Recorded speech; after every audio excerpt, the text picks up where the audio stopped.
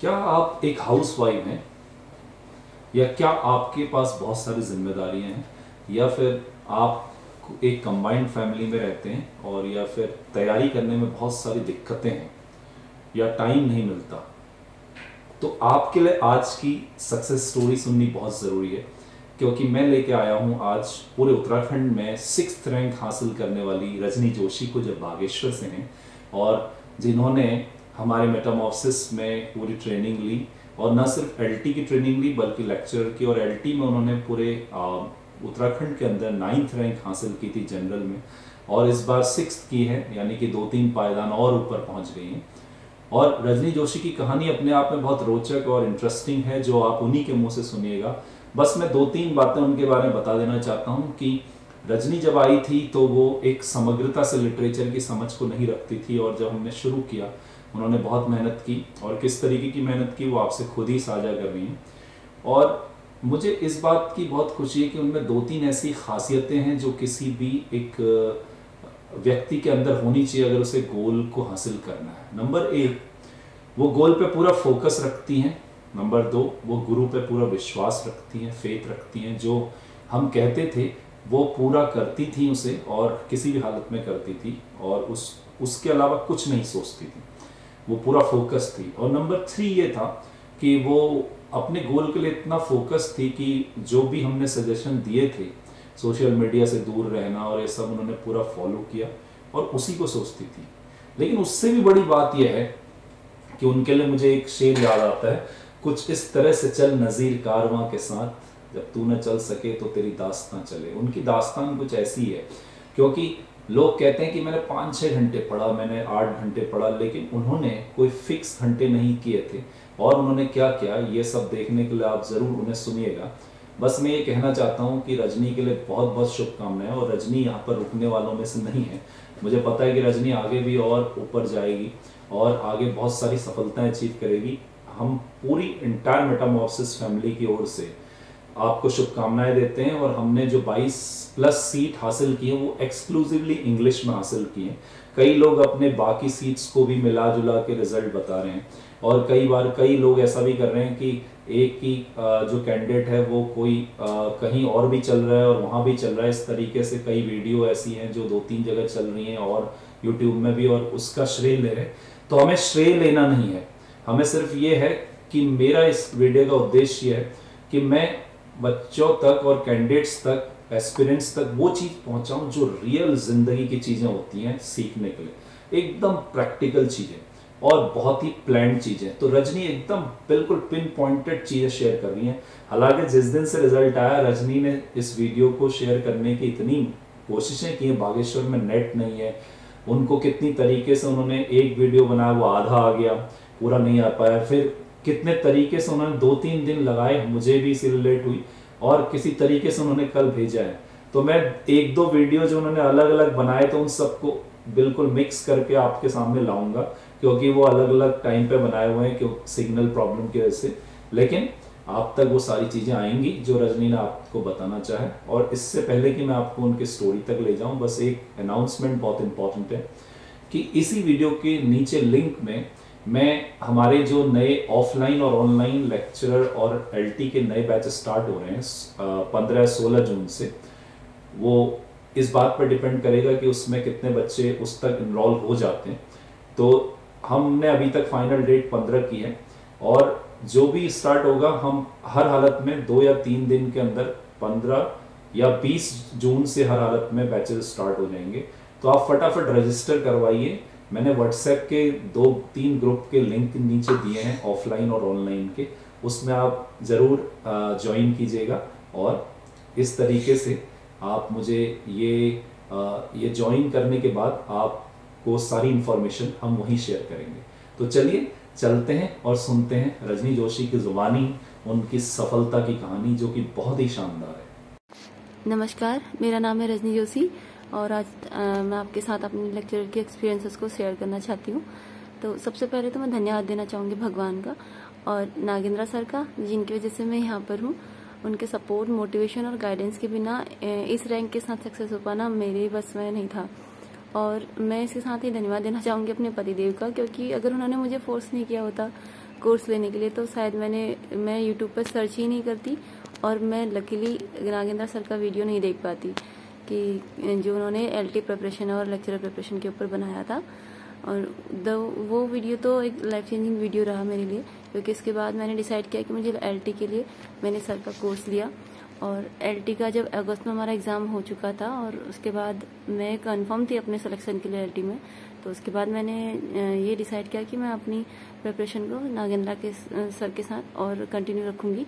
और इसलिए मैंने लेक्चरर का भी उनके जो कोर्स था वो परचेज कर लिया। और उसके बाद अगस्त से मैंने वो कोर्स परचेज किया था और उसके जब तक हमारा एग्ज़ाम हुआ सर ने एक दिन हमारी क्लास मिस नहीं की और बाद बाद में तो सर ने कम, हमने कम और सर ने हमारे पर ज़्यादा मेहनत की क्योंकि मैं बारह बारह बजे तक सर हमारी क्लासेस लेते थे रात के और सुबह फिर हमारी क्लासेस शुरू हो जाती थी। और आज मैं एक कन्फेशन भी करना चाहूँगी सर और सॉरी भी आपको बोलना चाहूँगी क्योंकि कई बार जब बारह बजे की क्लासेस होती थी तो मैं सो जाती थी। और उसके बाद मैं सुबह उठ के वो रिकॉर्डेड क्लासेस देखती थी। और ये एक सबसे बहुत ही बेनिफिशियल चीज़ मुझे लगती है क्योंकि जो भी वीडियो जो भी क्लासेस अगर हमसे मिस हो जाती थी तो अगर हम तो वो हमारे पास रिकॉर्डेड फॉर्म में रहती हैं तो हम कितनी भी बार उसको देख सकते थे और अपने छूटे हुए, अपने कॉन्सेप्ट को कंप्लीट कर सकते थे। और रही बात कि मेरी क्या स्ट्रेटेजी रही किस तरह से मैंने ये लेक्चरर का एग्ज़ाम को क्रैक किया तो सबसे पहले तो सबसे बड़ा सहयोग तो सर का सर का मिला। उसके बाद जो मेरा अपना था कि जैसे लोग बोलते हैं, आप कितना घंटे पढ़ते थे? आप की क्या स्ट्रेटेजी रही? तो मैं ऑनेस्टली बताऊँ तो एक हाउस वाइफ के लिए, बच्चों के साथ कोई घंटे निकालना, कोई फिक्स घंटे निकालना और पढ़ाई करना, ये बिल्कुल भी पॉसिबल नहीं होता है। तो मुझे जब जितना टाइम मिलता था, मैं बस पढ़ती थी। और सबसे जो, जैसे सर के जो रिकॉर्डेड वीडियो थे वो मैं बार बार बार बार सुनती रहती थी, जब तक कि वो मुझे, उनके जो इम्पोर्टेंट जो भी फैक्ट उसमें है, वो मुझे याद नहीं हो जाते थे। क्योंकि बैठ के पढ़ना कॉपी पेन लेके बैठे रहना और पढ़ना नोट करना हर वक्त पॉसिबल नहीं होता है। लेकिन ये एक, आजकल एक वरदान में कहूँगी हम सबके लिए कि हमारे पास मोबाइल है और उसमें इस इस तरह के टेक्निक्स हैं कि हम बस वीडियो ऑन कर सकते हैं और अपना काम जितने भी घर के काम होते हैं, वो करते हैं और मैं वो उसको सुनते रहती थी। इससे मुझे काफ़ी काफ़ी हद तक मुझे बहुत सारी चीज़ें नोट करने की ज़रूरत भी नहीं पड़ी, क्योंकि वो मुझे मैं बार बार सुनती रही और मुझे याद होती गई। और इसके साथ ही सर के जो मॉक टेस्ट होते हैं, उसमें जैसे टेस्ट तो टेस्ट तो बहुत ही एक संजीवनी बूटी की तरह काम करते हैं बच्चों के लिए, क्योंकि उससे बच्चों को केवल यही नहीं पता चलता कि उनकी रैंक क्या है या फिर मतलब वो कितना अच्छा करें। मतलब अपनी पूरी रियल सिचुएशन उनको पता चलती है उसमें। और हमारा कॉन्फिडेंस हमको एग्जामिनेशन हॉल में कैसा हमको फील होने वाला है, वो भी हमको, वो एटमोसफियर भी हमको उसमें मिलता है। और उसके बाद, उससे भी अच्छी बात ये होती है कि सर उस टेस्ट का एनालाइज करते हैं अच्छे से। और हर एक बच्चे को पर्सनली जब हमारी क्लास स्टार्ट होती है तो हर एक बच्चे को बोलते हैं कि आपका ये प्लस पॉइंट है और आपका ये माइनस पॉइंट है। और उसको समझाते हैं अच्छे से कि आपने कहाँ पर काम करना है, कहाँ पर आप लैक कर रहे हो। तो और उसके बाद हमारी क्लास स्टार्ट होती थी और ये हर, हमारा एक रूटीन वर्क था। तो ऐसे हमारी क्लासेस चलती रही और साथ ही मैं एक एडवाइस और भी देना चाहूँगी, जैसे ग्रुप बने रहते हैं पढ़ने के लिए। कोई भी आप ग्रुप ज्वाइन करते हैं तो उसमें कई कई लोग क्या करते हैं कि मतलब वो काम की बातें छोड़, वैसे बातें करने ज़्यादा लग जाते हैं। तो मैं ऑनेस्टली मैं सबको ये सजेस्ट करूँगी कि अगर ऐसे किसी ग्रुप से आप जुड़े हैं और आप वहाँ पर पढ़ने के लिए ही, पढ़ने की ही बातें करें, कोई मज़ाक नहीं, कोई इधर उधर की कुछ भी बात मत कीजिए। शायद बुरा भी लगे कहीं को, लेकिन ये सच में डिस्ट्रैक्ट करता है। अगर आप उसमें फिर बार बार उसमें चेक करते हैं किसने क्या कहा, किसने क्या कहा, और कई बार जो क्वेश्चन वगैरह पूछे होते हैं, उस पर तो ध्यान जाता ही नहीं है। वो सब बातों पर ध्यान चला जाता है। तो अगर ऐसे किस, कोई भी आप तैयारी कर रहे हैं और ऐसे ग्रुप से जुड़े हैं तो ये सब चीज़ें ना की है इससे आप बहुत डिस्ट्रैक्ट होंगे। और दूसरी बात, सर ने जब हमारा एलटी का एग्ज़ाम हो रहा था तो सर ने बोला कि जो शादी पार्टियों में अभी भी जा रही हूँ ना, अगर जाना कंटिन्यू रखोगे तो भूल जाओ अपना सिलेक्शन तो मैं वैसे भी पहले भी नहीं जाती थी ज़्यादा, और सर के कहने के बाद तो फिर मैंने बिल्कुल ही इन चीज़ों से दूरी बना ली। यहाँ तक कि कोई सोशल मीडिया अकाउंट नहीं व्हाट्सअप भी केवल इसलिए, क्योंकि वो, उसमें हमारी क्लासेस का वो आता था, और वो ज़रूरी था क्लास ज्वाइन करने के लिए, इसलिए। तो अगर सिलेक्शन चाहिए तो मैंने तो यही स्ट्रेटजी अपनाई थी कि मेरा, मैं कोई सोशल मीडिया वगैरह में नहीं हूँ। और उसमें क्या कि बहुत टाइम वेस्ट होता है। अगर आप एक बार उसमें घुसे तो आपके आधा घंटा, पंद्रह मिनट कब गया, पता ही नहीं चलेगा। और तो इन चीज़ों से आप दूर रहिए। और स्पेसिफिक कोई घंटे निकालना पॉसिबल नहीं होता। हाउस वाइफ के लिए स्पेशली मैं कहना चाहूँगी कि जब मैं तो ऐसे ही करती थी। मैं खाना बनाते, बर्तन वास्ते झाड़ू पोछा करते ऑल टाइम मेरा, केवल सोते टाइम ही मैं नहीं पढ़ती थी। बाकी अगर मैं उठी हूँ, मैं काम कर रही हूँ, चाहे कुछ भी कर रही हूँ मैं सुनते रहती थी और वो मेरे लिए जैसे जैसे कि शेक्सपियर की स्टोरीज मैंने सारे ऐसे सुनी और याद करी। और सर सर ने फिर बोला कि आप ऐसा कीजिए कि जितनी भी आप स्टोरी सुनते हैं बार बार सुनना पड़ेगा, भूल जाएँगे तो इससे अच्छा आप उनका नाम लिखिए और उनके मेन मेन कैरेक्टर और जो कहानी में थोड़ा सा बहुत ट्विस्ट है, उसको लिख लीजिए। तो फिर मैंने ये भी फॉलो किया और मैंने छोटे छोटे उनका बना के सारे जितने भी प्लेज हैं, उनके छोटे उनके कैरेक्टर वगैरह, ये सब लिख लिए। क्योंकि इससे भी हमको कैरेक्टर से भी कई बार क्वेश्चन पूछा जाता है कि ये किसमें है। और नोट्स वगैरह जो कोट वगैरह होती हैं कोट कोट को याद करने के लिए जो सुपर फिफ्टी कोट्स होते हैं या फिर जो सर ने हमको लिखवाए हैं, उनको दिन में एक बार ज़रूर मैं पढ़ लेती थी, रिवाइज कर लेती थी, ताकि वो कोई भी उसका एक की पॉइंट उसमें होता था, उसको याद कर दिमाग में कहीं पे स्ट्राइक कर जाए और आए तो उसको पढ़ने के बाद हमको दिमाग में आ जाए और हम उसको कर पाए। तो ये मेरी स्ट्रेटेजी रही और इसके साथ साथ ही मैं अपने जो ग्रुप के जितने भी सदस्य हैं, उनको भी धन्यवाद देना चाहूँगी, क्योंकि मैं नहीं मानती कि मेरा ये एक एक नंबर मेरे उन सारे साथियों का का भी है, उनके सहयोग की वजह से भी है, जिनके साथ मैं जुड़ी रही अपने ग्रुप में, चाहे वो किरण हो, विकास हो, प्राची, प्रतिमा, ललित सर और कैलाश सर और पता नहीं, बहुत सारे लोग जिनका मैं नाम यहाँ पर शायद भूल रही हूँ। और सबसे बड़ा तो सर का तो सौभाग्य हमें मिला ही कि सर का साथ हमको मिला। तो इस तरह से मैंने तैयारी की और अपनी, ये अपनी सफलता इसमें पाई।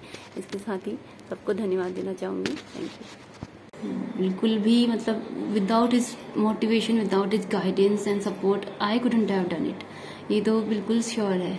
कि जिस तरह से उन्होंने गाइड किया हमको हर एक चीज़ के लिए, हर न, केवल पढ़ाई के लिए नहीं, उन्होंने जितना मॉरली भी हमको सपोर्ट किया है।